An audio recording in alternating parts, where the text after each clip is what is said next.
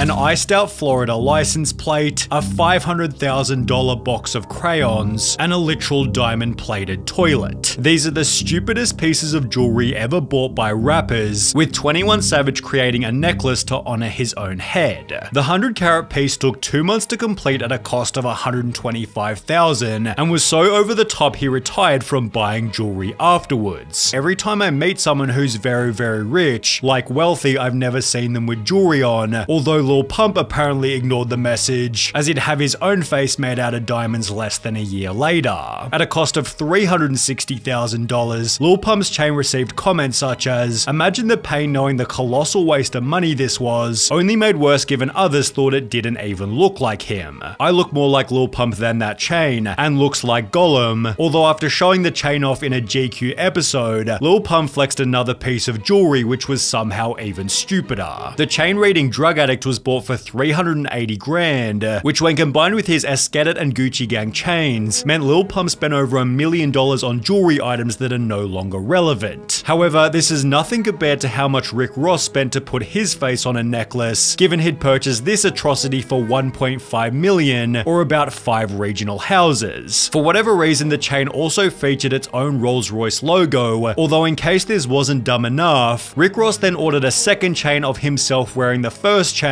so Rick Ross could wear Rick Ross who was wearing Rick Ross. The necklace might have been inspired by the game's equally funny Jesus piece wearing a Jesus piece, although in terms of Jesus pieces, they get much worse. For example, Lil Boosie's Christ the Redeemer pendant was bigger than an infant, weighing in at 10 pounds or 4.5 kilograms, which when combined with his equally crazy Holy Bible chain, not only made him look ridiculous, but likely also gave him back pain. It's therefore no surprise that after Boosie flexed the chains on Instagram, his audience stated, Bible says don't worship false idols, this guy gets a Holy Bible gold chain, SMH this generation man, and this is whack on so many levels. Please hire a financial advisor today. Boosie claimed to bought the chains because God had given him everything, although in terms of God honoring jewelry, Boosie's was only the start. Because at the 2010 BET Awards, Kanye West unexpectedly walked out with the biggest chain ever worn by a musician, honoring the Egyptian god Horus which hung lower than his waist. The chain accompanied an equally crazy 24 carat 5 finger pyramid ring, with the two items costing a total of $300,000. Complex wrote about the piece in 2016 stating, this shit is dumb, this chain is stupid, like 2 plus 2 equals 7, yet Lil Baby apparently thought this equation was normal, as he dropped thousands of dollars on a Rolex and iced out chain for his son's third birthday. This was followed by a further $100,000 worth of jewelry for his seventh birthday,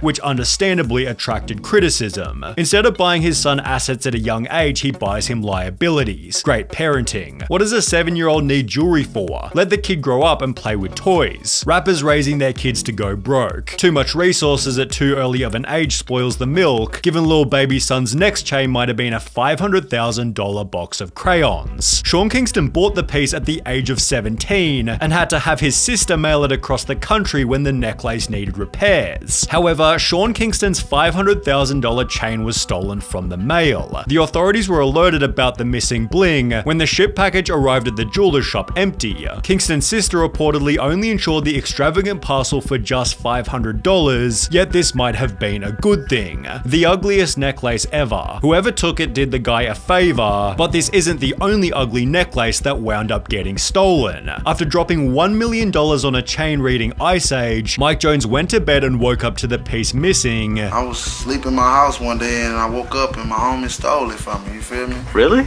Yeah. And while you could argue that the chain wasn't ugly, his negligence made the story pretty damn stupid. A million dollars worth of jewelry around his neck, and he fell asleep without first locking it into a safe. Genius, although there's nothing less genius than Plies' entire jewelry collection. After dropping his fourth studio album called Goon, Ply celebrated its release by ordering a diamond encrusted Goon snapback, an iced out Goon license plate, and so many Goon ski masks it's hard to even count them. However, his stupidest piece of jewelry might have been his iced out clothing iron, or his ridiculously large gold Cuban chain, which weighed in at 15 and a half pounds or 7 whole kilos. My IQ just dropped 20 points by watching this video alone. At least Plies' jewelry made for a funny story, as the background behind Lil Jon's awful Crunk Ain't Dead chain was nothing short of depressing. Lil Jon was so confident that the the crunk genre of music wouldn't die. He blew $500,000 on the necklace back in 2007, in the process setting a Guinness World Record for the largest diamond pendant in the world.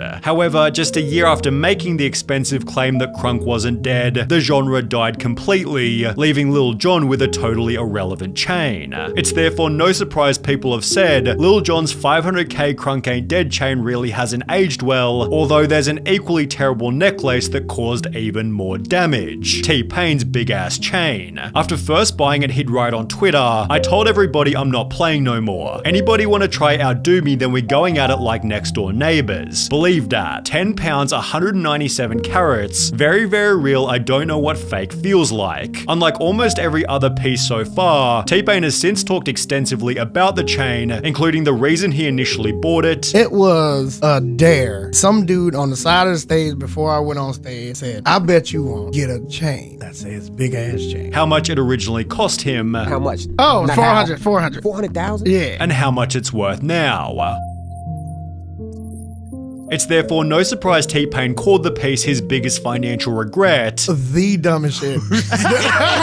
Like I've done some dumb things. yeah. But, but this one up here. with the item being so ludicrous most of the public thought it was fake. I always thought it was fake. I thought it was Until fake you too. said I that. ain't on Oh, yeah, that- yeah. I was like, nobody. You know why I always thought it was fake? 'Cause I was like, nobody would buy, really buy that. It should have been. I would- I was I thinking the wanted it thing. to I was be. like, it, it should have been fake. In addition to the big ass chain, T-Pain spent a further $400,000 on a range of liquor bottle jewelry, which he then somehow misplaced completely. So what happened to those bottles? You still have those? Or you melted those down too? I don't know where they are. You don't know none of those? Oh my god. I lost them. You lost them. Yeah. So four hundred thousand dollars just gone in the wind. Yeah. which was something that couldn't happen to Lil Wayne's teeth, but this is also what made them so damn stupid. You see, while most rappers go for a removable diamond grill, Lil Wayne spent $150,000 to have diamonds glued onto his actual teeth, See, Oh, these that's- don't come out like the But other are they all girls. diamonds? In- oh, Oh, yeah. wow. meaning he needed to brush them after every single meal and could only take them out with a highly invasive surgery. Lil Wayne went to jail roughly one year after getting the diamonds, yet was able to delay his sentence by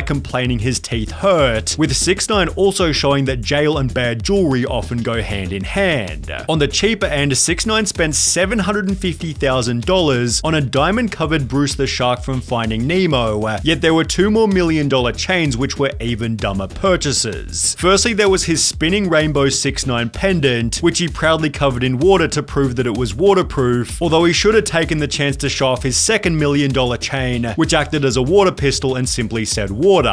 However, if we're on the topic of stupid functional jewelry, then Soulja Boy's Lamborghini necklace has to come next. Soulja Boy explained that he'd bought an actual Lamborghini and needed some jewelry to match, so he'd spend 250,000 on a Lamborghini chain, which had moving wheels and its own remote control, meaning he could drive the chain in various parts of his house. Soulja Boy eventually gave the chain to a friend as a birthday present, although he still had other pieces of highly speculative jewelry. For example, he dedicated a different piece to the Transformers movie and spent 500 grand on a mediocre chain reading The World Is Yours. Although while Soulja Boy might have owned the Earth, the entire solar system belonged to Takeoff. The monstrous piece featured four planets, two stars, the sun, and its own NASA rocket ship. The piece was valued by a jewelry expert who appeared on GQ That setup right there to get done with all those carats, all that ice, at least a half a million bucks. although the other two Migos members might have taken things even further. For example, Quavo spent 250,000 to put himself in the Ratatouille movie, which accompanied two equally wild Yoda and Crash Bandicoot chains, neither of which were as crazy as Offset's most viral piece, a diamond encrusted trap house. This is 250 a quarter.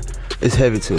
It's more than a kilo. The chain was hailed as being, quote, ridiculously detailed, complete with graffiti and oven and two figurines of Offset, both of them armed, although the trap house wasn't nearly as gangster, as Shawty Lo's crack vial on a necklace, or Method Man's ice pick chain, which he couldn't get past TSA security because they thought it could be used as a weapon. Ghostface's Versace medallion was somehow even more obnoxious, especially when combined with his solid gold eagle bracelet, although for Yung Joc's Hustlenomics chain, chain, there are simply no words to explain how bad it is. Rather, we might have to look at the jewelry owned by Lil Duval, whose entire collection is designed to mock these other rappers. For example, he showed up to a birthday bash wearing a plastic fake ass chain before trolling every other rapper with a diamond encrusted toilet. He then posted an image of rapper chains to his Instagram with a caption reading, My toilet chain almost 10 years old, and I'm still shitting on all of you. Although if there's one man who could out troll the troll, it's gotta be Flavor Flav, whose oversized diamond covered clocks are so damn stupid, it makes him an extremely memorable artist. Giving off a similar vibe is Slick Rick's atrocious satellite dish looking Rolex, which was shown on GQ with the rest of his chains, all of which were bought because of their crazy size. I love how he keeps trying to put meaning behind the reasons he bought his jewelry, but it really was just because it was the biggest thing in the store. But if Riff Raff Shark Teeth Grill has taught us anything, it's that rappers buy these terrible pieces of jewelry so they can stand out from the crowd. And whether that be DJ Mustard's mustard bottle, Waka Flocka's Foghorn Leghorn Rooster, or Just Blaze's PS3 controller, it's safe to say that these rappers have achieved exactly that.